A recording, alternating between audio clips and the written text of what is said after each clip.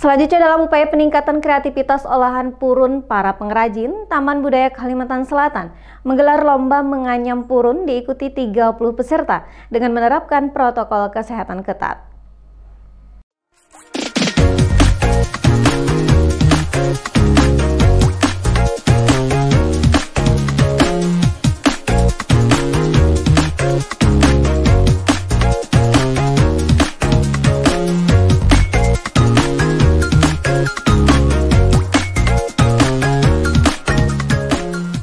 Dengan menggunakan dana alokasi khusus dari Kementerian Pendidikan dan Kebudayaan RI, belum lama tadi Taman Budaya Kalimantan Selatan menggelar lomba menganyam purun.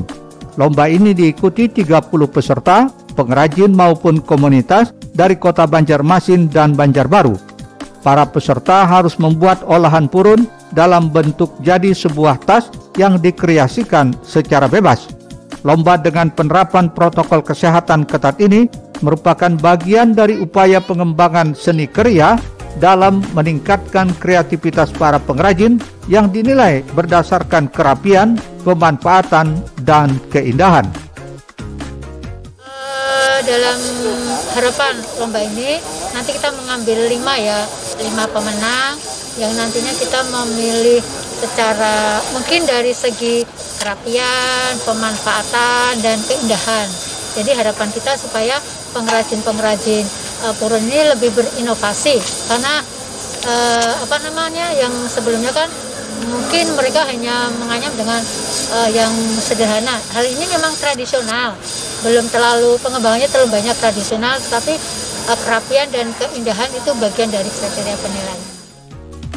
Sementara itu, Ketua Dharma Wanita Provinsi Kalimantan Selatan Aminatus Alifah yang turut menilai lomba ini menyatakan mengapresiasi kegiatan ini dan berharap bisa dilaksanakan secara berkelanjutan ke depannya. Kami berharap uh, kegiatan ini bisa terus dilaksanakan Pertama karena kita belajar mengajarkan untuk menyintai budaya daerah kita sendiri, budaya purun di Provinsi Kalimantan Selatan. Dan nanti kita juga akan mengadakan ini uh, kegiatan menganyam purun ya hmm. di dalam lingkup Dharma Wanita dan juga akan kita tempatkan, kita kenalkan di Dekranas Sudah memang tempatnya untuk kesenian-kesenian dan kerajinan daerah Provinsi Kalimantan Selatan. Salah satu juri Sri Eliani menyatakan Meski olahan yang dibuat para peserta telah menunjukkan kreativitasnya, namun berharap ke depan lebih banyak lagi para pengrajin dari kalangan generasi muda. Mungkin layak layak, mungkin perlu uh, lebih kreativitas lagi. Dan kami melihat memang uh, banyak peserta ini yang usianya itu tadi sudah 60, iya. ya 60 ke atas lah. Ada satu, dua, tiga orang yang usianya itu 20 tahun jadi dari peserta yang 30 orang itu hanya 10 persen yang dari generasi muda.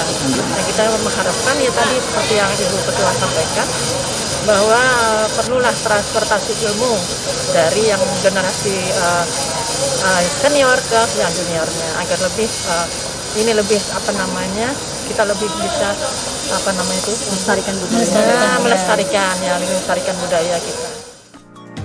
Dari lomba ini, para juri memilih lima peserta dengan olahan kerajinan purun terbaik untuk ditetapkan sebagai juara mulai dari harapan kedua hingga juara pertama. Erwin Yudanwari, Banjar TV.